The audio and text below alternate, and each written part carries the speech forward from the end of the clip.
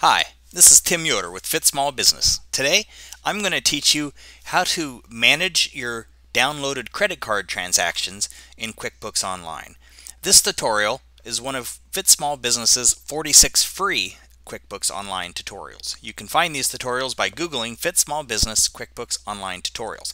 So one of our prior tutorials in part one, setting up your QuickBooks dealt with how to import your credit card transactions. So now we've imported them and now we're going to learn how to manage those downloaded transactions. So let's go to our QuickBooks dashboard and to view those imported transactions we're going to go to banking and banking again. Today we're going to deal with our credit card transactions coming over from the American Express account. So let's make sure the American Express account is highlighted and we can see for the 13th that we have four transactions transferring over from our bank. Okay, so um, we have three tabs here. We have for review. These are the transactions we have yet to review. Once we categorize the transaction, it'll move into the categorized. And if we choose to exclude it, it will move to the excluded tab. Okay, so those are our choices for each transaction. So each transaction can either be categorized, which essentially means assigning it to a uh, to an expense account and accepting it, or it can be excluded.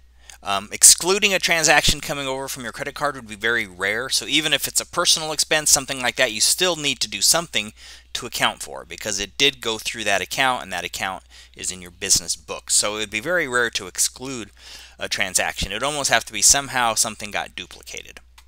Okay, so here are four transactions. Uh, let's first handle the transactions in which QuickBooks has already found a match for us. Uh, so all we have to do is confirm that yes, in fact, that is the same expense. So here on 1013, we made a charge to Gambles of $5.73. So this is what's coming through from the bank. I'm going to click on it and open it up. And it found this matching record. It found that I recorded a, a credit card expense I recorded an expense charged to the American Express on 10/11, so that was 2 days prior to the charge clearing the bank. Makes sense for $5.73 to the vendor Gambles. Well, that certainly does appear to be the same charge, right? So this was one I had manually entered. Now it's transferring over from my bank, and so I'm going to tell it to match these transactions. All right, if I accidentally, if I added it as a new transaction, it would be in the books twice. And so now we can see that that one transaction is over here in our categorized. And we can undo it, which would then send it back to the review tab. Okay, the next matched transaction is from Amazon. So let's look. This is what, again, this is what's transferred over from the bank. Let's look and see what it's matching against. Now here it's a little bit different. In the prior one, it matched it against an actual credit card expense I actually entered in the books. Here, it's matching it against an open bill. So on September 13th, we received a bill from Amazon for $101.10. Well, this sees that this charge is for $101.10 and it thinks that we probably paid this open bill. So we had entered this as an unpaid bill. Okay? And yes, that is in fact correct. So we used the credit card to pay for this unpaid bill. We didn't ever record the credit card charge. All we recorded was the open bill. QuickBooks recognized that and says, is this credit card charge paying this unpaid bill? And we're going to say yes.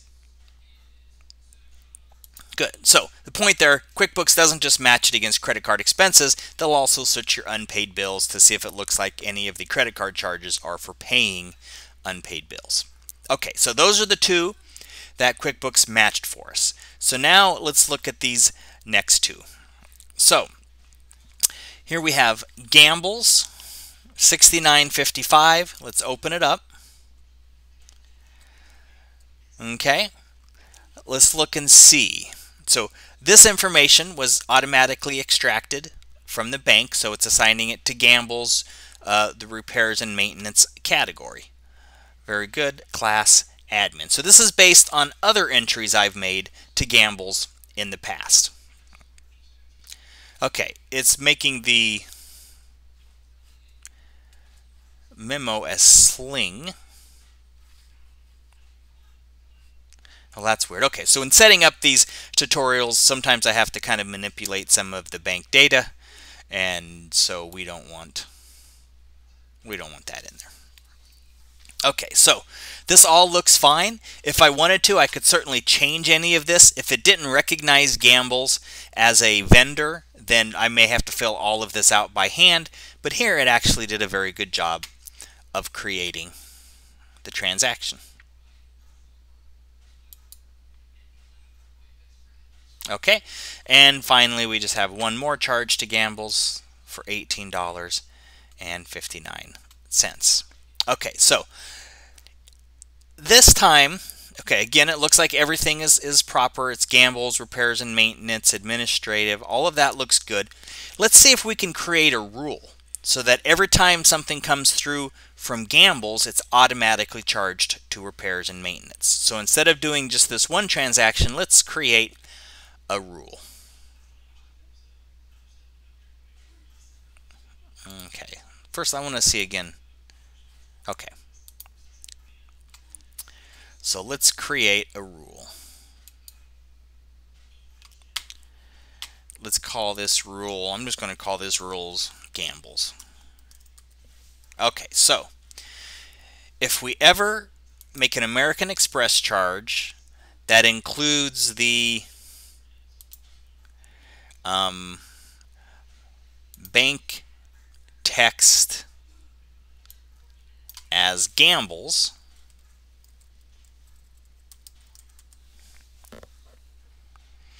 Okay.